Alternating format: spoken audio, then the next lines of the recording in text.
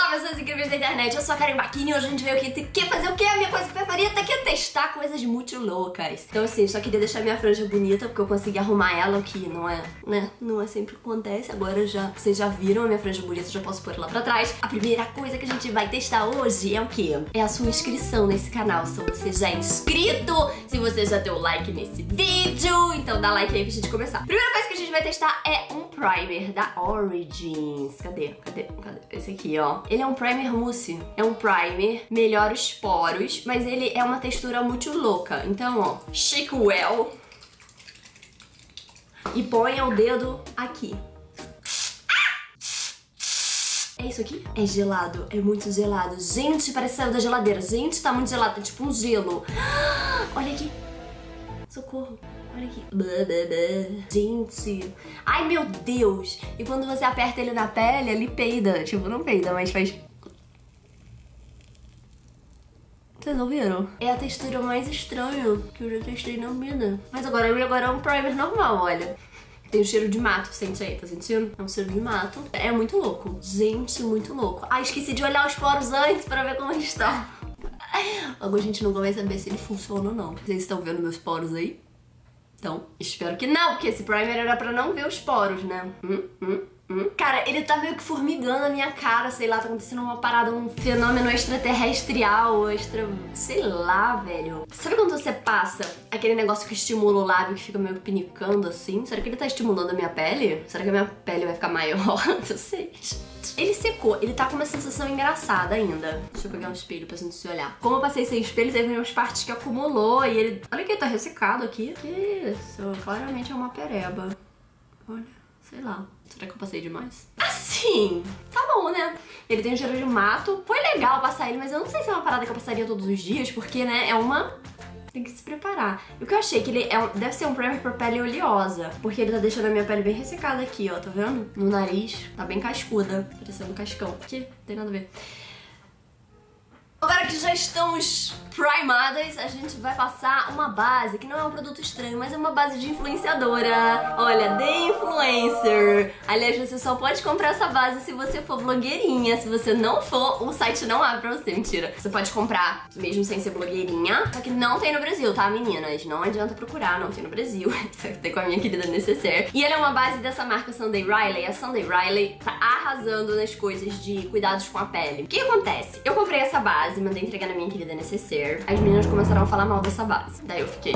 Ah, desperdício de dinheiro. Mas eu já tinha comprado, né? Então, a gente vai testar essa base aí juntas. Não tem parabenos, não tem talco, não tem glúten cruelty free, não tem ciclopentaciloxane, não tem synthetic fragrance, é, então ela é uma base assim, amiga da pele. Então, assim, essa marca, ela realmente, eu uso várias coisas dela pra cuidado de pele e eu tenho gostado bastante, tenho achado que as coisas são realmente muito boas e que mudaram a minha pele aí com o uso, então eu fiquei curiosa pra base. É, ainda bem, né, que eu não comprei uma base muito amarela, tá um pouco clara pro meu rosto, mas ele tá do cor do resto do corpo, que é o que é importante, né, porque eu tô sempre de máscara. E agora, acho que eu descobri por porque minha cara é mais escura mesmo e tudo mais, e pananã. Então, né, é isso aí. Natural, olha, ficou bonita.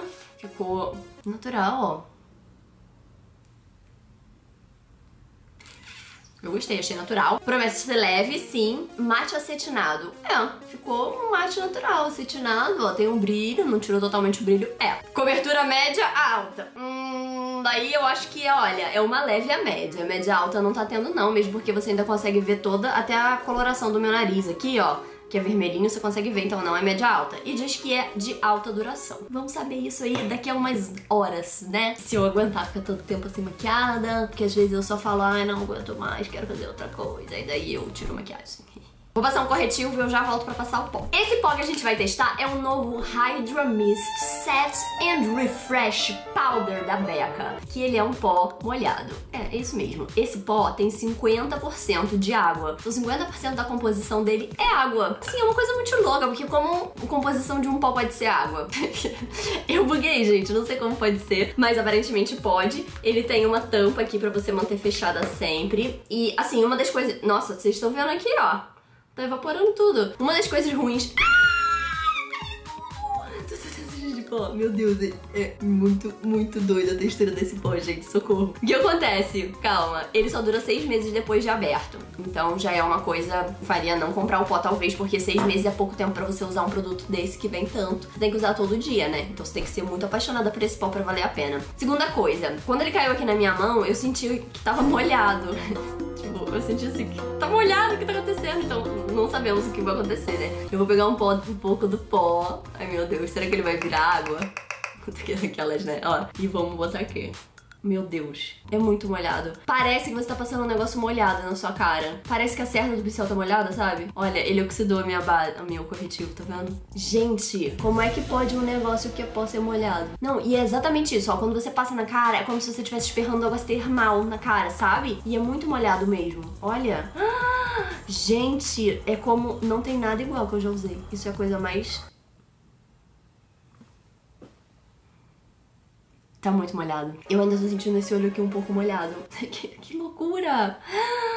Muito legal. Olha, parece que eu tô pincelando um pincel molhado. É isso, é isso, gente. É um pincel molhado.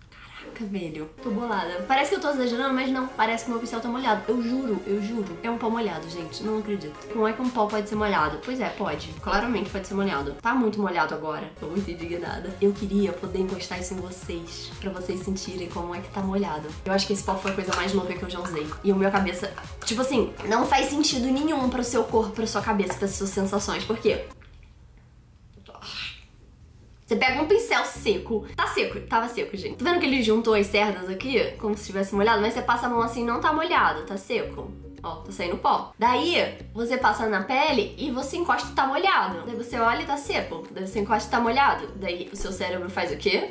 Mas foi muito louco. As pessoas estão gostando muito desse pó, dizendo que ele mantém essa área hidratada. E realmente, olha, tá bem hidratadinha, né? Ele deu um blur na pele, tá vendo? Não salientou linhas finas nem nada e ficou hidratado. Eu achei, mas eu tô um pouco impactada porque a minha pele tá claramente úmida.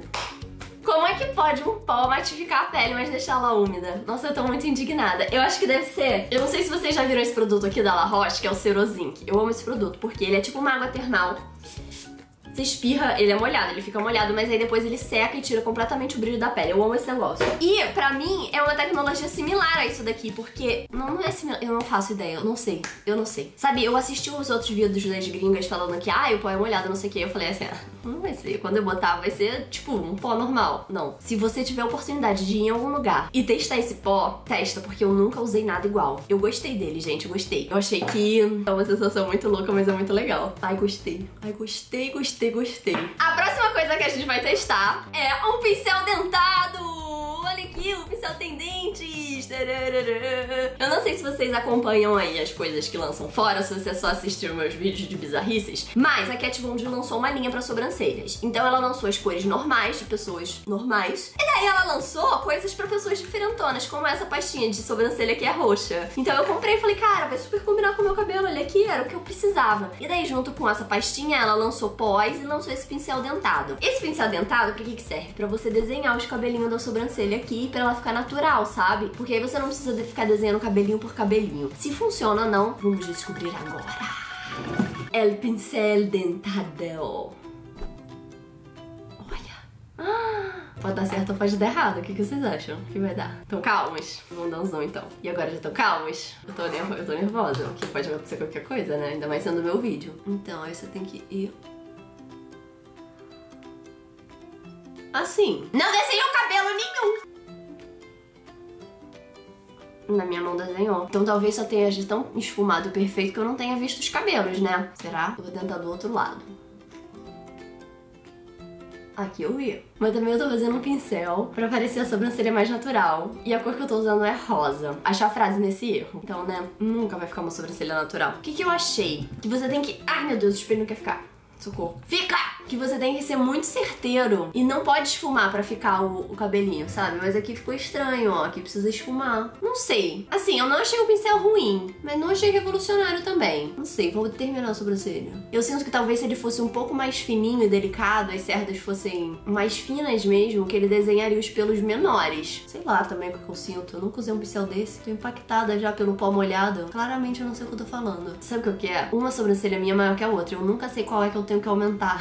qual que não tem que aumentar. Daí eu sempre aumento a que era errada. Claramente eu fiz isso agora. Aumentei a que já era grande. Não acho que ficou mais natural ou menos natural. Eu acho que se você não usar ele nesse movimento assim pra cima, vamos ver na mão, ele nunca vai fazer a coisa certa. Vou usar pra baixo. Ó, até que ele faz, ó, foco, onde está o foco. Olha, talvez ele realmente seja útil para sobrancelhas mais naturais. Claramente não com a pasta rosa, né? Mas vamos testar ele de novo depois com uma pasta da cor da minha sobrancelha. Ah, eu acho que ele funciona assim. Não se você arrastar ele assim, com certeza, porque, né, tô fazendo errado. Ai, é, olha como tá ficando esfumadinho aqui. Parece um cabelo mesmo saindo. Claramente um cabelo natural, rosa. O que que eu achei? Se eu não tivesse nenhum pincel de sobrancelhas, eu compraria esse, porque ele é mais fácil de esfumar. Porque se você estiver fazendo os movimentos certos, que são assim, de desenhar o pelo, ele realmente desenha o pelo, deixa bem esfumadinho e legal. Mas eu também, se eu tivesse um pincel normal desse aqui, esse meu é da NYX, ó, que eu gosto bastante que ele tem coisa assim, eu não sentiria necessidade de trocar ele não, porque é só você realmente desenhar os pelinhos do jeito que você sempre fez na sua vida, que ficaria igual, sabe? Mas ele é diferente. Eu não sei se vale a pena ou não. Eu preciso usar mais esse produto pra saber. Eu achei que ele fez o trabalho dele. Quando eu vi que seria um pincel dentado e tal, eu achei que ia ser mais diferente. Eu achei que ele ia dar um efeito mais diferentão. E não deu. Então eu acho que ele.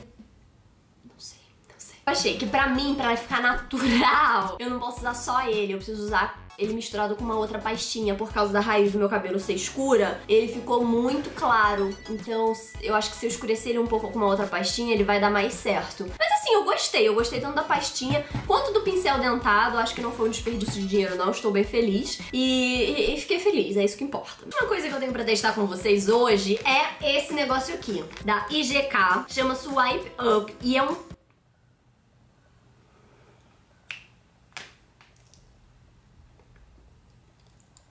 tela azul!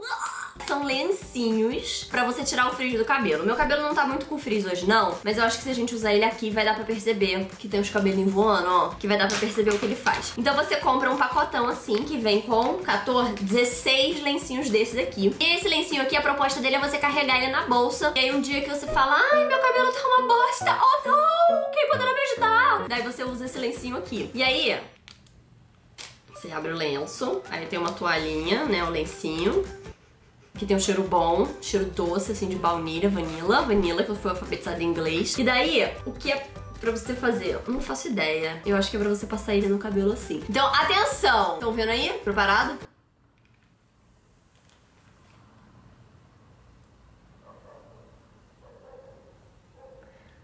Gente, tirou o frizz mesmo. Os cabelinhos que estavam voando tudo sumiram, olha. Olha, olha, olha, olha. Vou tentar aqui.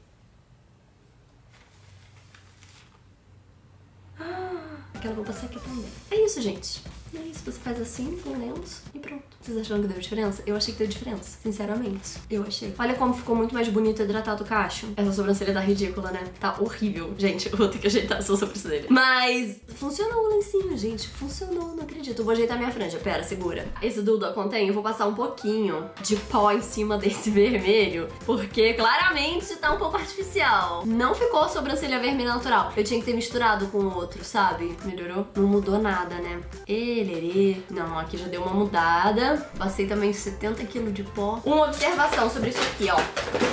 Quando eu pinto a minha sobrancelha de marrom e passo isso daqui por cima, eu acho que fica mais natural do que quando eu pinto ela de rosa e aí eu, depois eu tento trazer a naturalidade pra ela. Então, não sei se eu vou continuar usando essa pastinha. Vamos ver se ela misturada com outra pastinha vai rolar. Esse lencinho aqui do cabelo eu amei, só que eu acho que ele é um pouco caro e não vale tanto a pena assim. Porque ele é um, um lenço, tá vendo?